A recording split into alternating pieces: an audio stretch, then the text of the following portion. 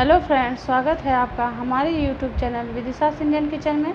आज हम बनाएँगे ब्रेड पकौड़ा जो खाने में बहुत ही स्वादिष्ट होती है, इसे आप पार्टी या ऐसे भी बनाकर खा सकते हैं।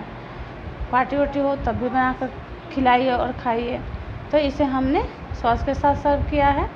आप अगर चाहें तो कोई भी हरी चटनी के साथ या सॉस के साथ ही आप सर्व कर सकती हैं। हमारी वीडियो आपको अच्छी लगे तो लाइक कीजिए मेरे चैनल को सब्सक्राइब कीजिए, फ्रेंड्स और फैमिली में शेयर कीजिए। तो चलिए बनाते हैं ब्रेड पकौड़ा। तो आज हम बनाएँगे ब्रेड पकौड़ा, जिसके लिए हम सबसे पहले आलू उबाल लिए हैं। ये आलू तीन पाव होगा, जिसे हमने उबाल कर छिलकर अच्छे से मैश कर लिया है मैसर से।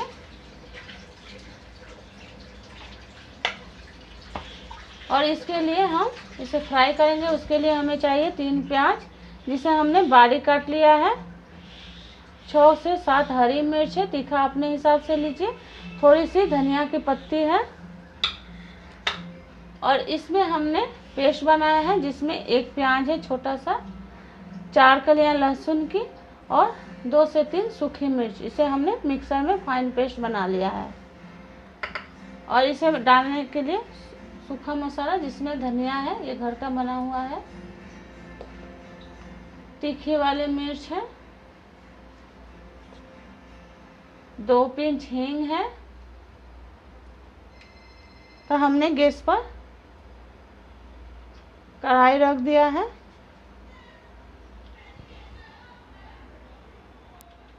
तो देखिए, हमने गैस पर कढ़ाई चढ़ा दिया था। इसमें तीन चम्मच, बड़े चम्मच तेल डाले हैं। सरसों का ऑयल है ये। कोई और ऑयल मत बनाइएगा। ये सरसों के तेल में ही अच्छा लगता है। तो हमारा तेल भी अच्छे से गर्म हो गया है। इसमें हम अब लगाएँगे ये फ्राई करने के लिए।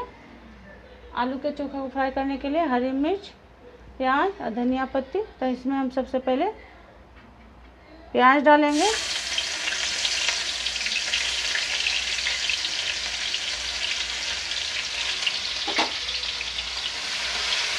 प्याज को थोड़ा चला लेते हैं। इसे लाल होने तक भुनेंगे अच्छे से। और इसी में हम डाल देंगे ये दो पीस हींग। इसका फ्लेवर बहुत अच्छा आता है।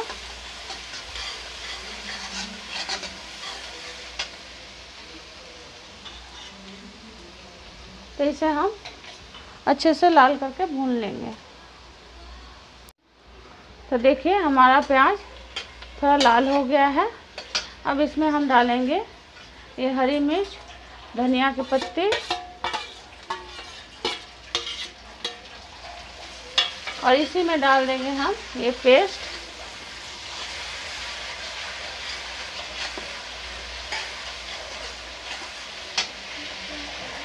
थोड़ा हम तीखा बना रहे हैं स्पाइसी तो उसके लिए हम छोटे चम्मच से आधा चम्मच लाल मिर्च पाउडर और एक छोटा चम्मच धनिया पाउडर, एक से डेढ़ चम्मच।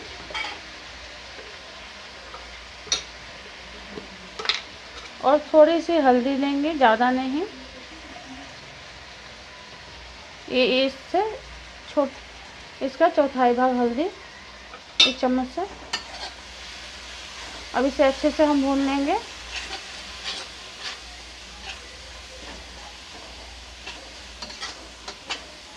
इसे आप अगर जब चाहे बना कर खा सकते हैं, कोई पार्टी उर्टी हो, उसमें भी बनाए तो बहुत लाजवाब लगेगा।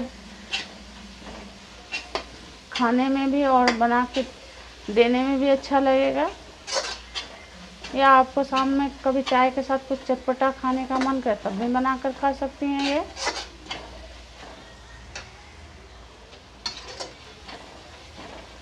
तो इसे हम थोड़ा पाँच मिनट भून लेंगे अच्छे से। हाँ तो देखिए, हमारा पाँच मिनट हो गया है। मसाला अच्छे से भून गया है। इसमें हम अब डालेंगे स्वाद अनुसार नमक।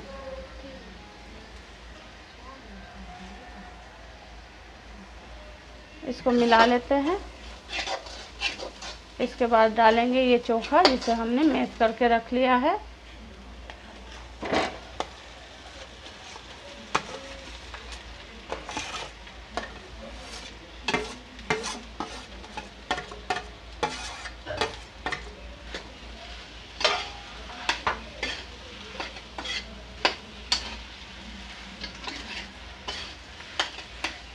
इसे अच्छे से हम मसाले में सूखे को मिक्स कर लेंगे भूनते हुए।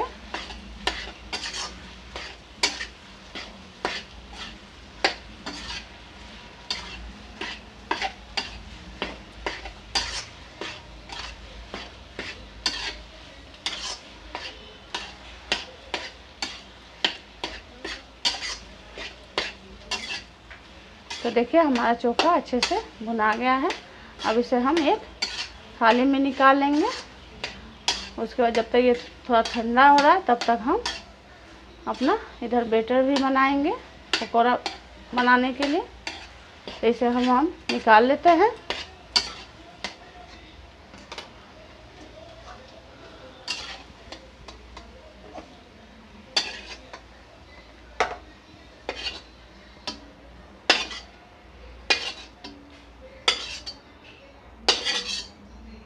देखिए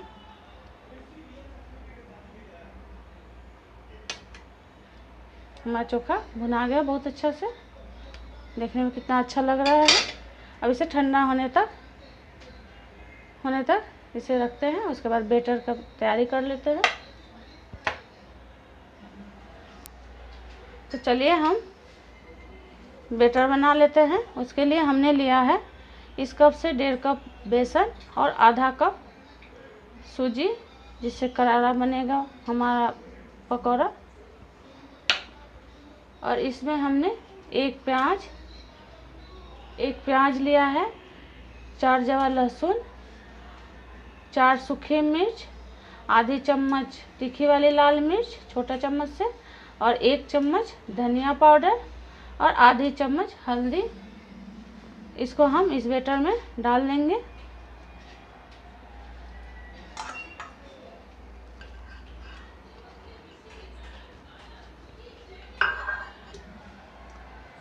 इसे हम मिला लेते हैं।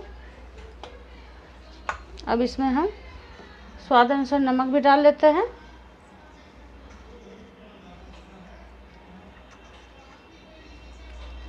अब इसे हम थोड़ा थोड़ा पानी डालकर इसका स्मूथ बेटर तैयार करेंगे। ध्यान दीजिएगा, इसमें गुठलियाँ ना पड़े। तो हम थोड़ा थोड़ा पानी डाल के इसका बैटर तैयार करेंगे जिसमें हम पकौड़ा डीप करके तलेंगे।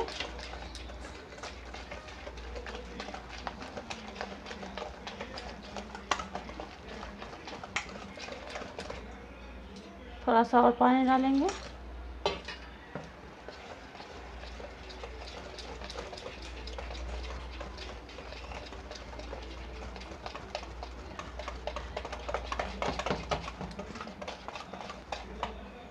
ये अभी गाढ़ा है, थोड़ा सा और पानी डालेंगे इसमें।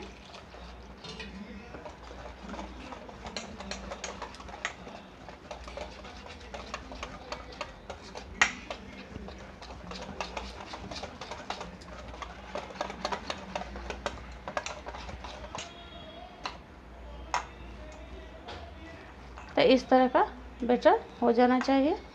देखिए, अब हमारा बेटर तैयार हो गया है।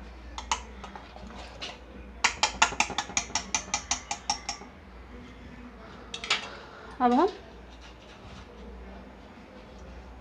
ब्रेड ले लेते हैं, दिखाते हैं आपको। तो देखिए, हमने बेटर तो तैयार कर ही लिया था हमने ब्रेड को भी बीच से ट्रेंगल शेप में काट लिया है। अब इसे हम हल्का हल्का पानी की सहायता से भिंगा देंगे, ज़्यादा नहीं हल्का हल्का और इस पर हम ये चोखा जो बनाए हैं, उसको हम इस तरह से, इस तरह से इसके अंदर स्टफिंग कर देंगे।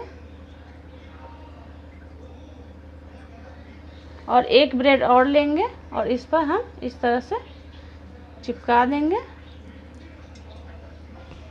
हल्का हल्का पानी लगा दीजिए, जिससे ये पकड़ लेगा। अब इसे हम इसमें डिप करेंगे।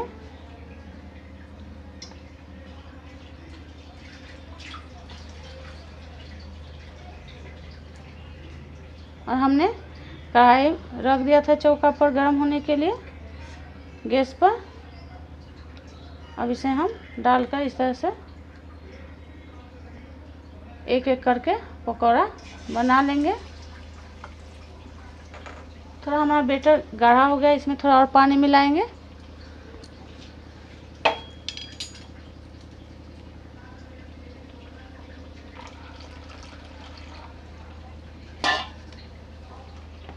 इसे मिक्स कर लेते हैं।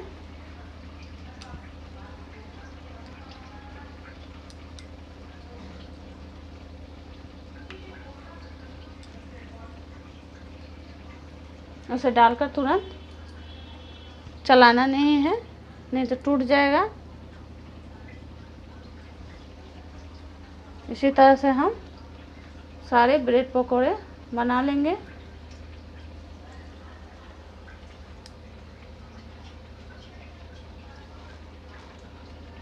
इस तरह से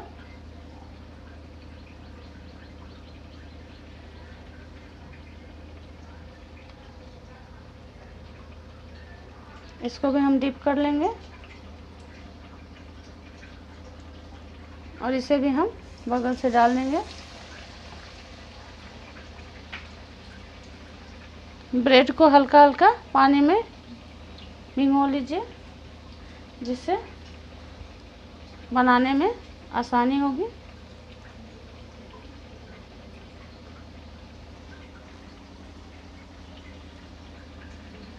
ये बच्चों, या बड़ो, सबको अच्छा लगता है? बड़े हो या बच्चे? सभी खाना पसंद करते हैं?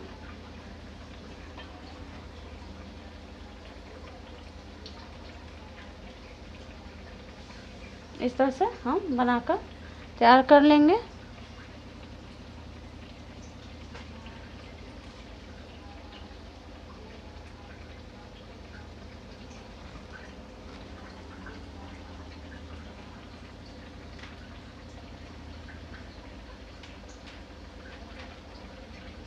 अब हम हो गया है पाँच मिनट। अब देख लेते हैं इसे।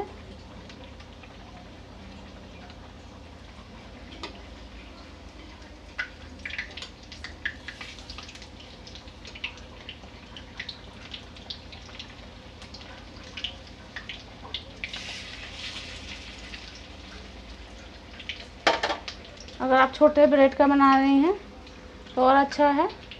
ये हमने बड़ा ब्रेड लिया था। इस तरह से हम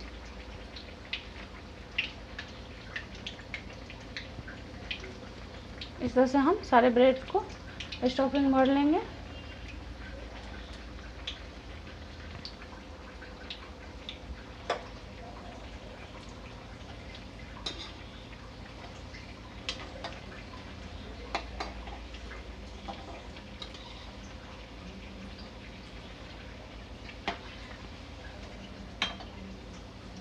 हमने फ्लेम को हाई ही रखा है, क्योंकि अंदर में चोखा भी भुना हुआ है। बस ऊपर से डिप फ्राई करना है।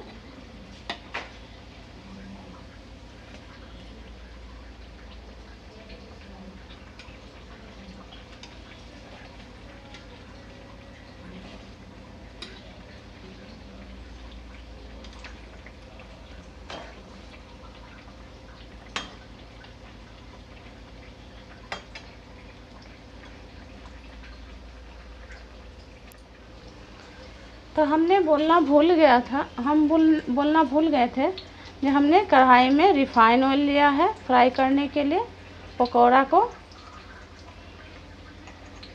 तो हमने सारे पकौड़े तल लिए हैं।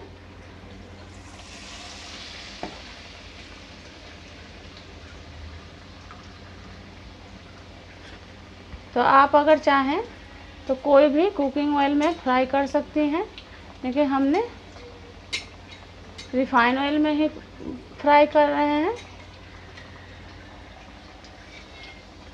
हमने पकौड़ा सारा तल लिया है, देखिए। देखिए कितना अच्छा हमारा ब्रेड पकौड़ा बना है।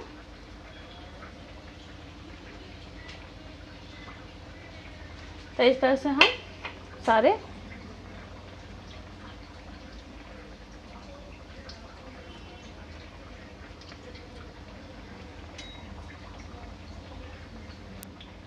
तो देखिए हमने तो इस तरह से हम तल लेंगे। तल लिए हैं।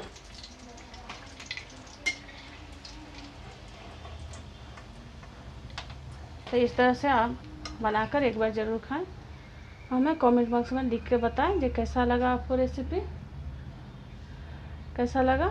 हमारे वीडियो आपको अच्छी लगे तो लाइक कीजिए शेयर कीजिए फ्रेंड्स और फैमिली में। मेरे चैनल को सब्सक्राइब करना बिल्कुल ना भूलें। और फिर हम मिलते हैं एक नए रेसिपी के साथ अगले वीडियो में। तब तक अच्छे से रहें।